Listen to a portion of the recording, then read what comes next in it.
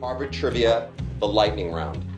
Go. Pulitzer Prizes. 46. Nobel Peace Prizes. Five. What is the oldest book in the Harvard Library collection? The Bible. Wrong. The Gutenberg Bible. Everyone knows it's the Gutenberg Bible. Yes, but you didn't say it. The rules dictate you must be precise, as the law is a very precise endeavor. How many U.S. Eight. That's not fair. You didn't even finish the question. And yet it's right.